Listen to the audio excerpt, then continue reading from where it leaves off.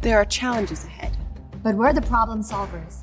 Working with researchers, innovators, small businesses, and manufacturers. America's natural gas and oil companies are successfully meeting the demand for greater energy.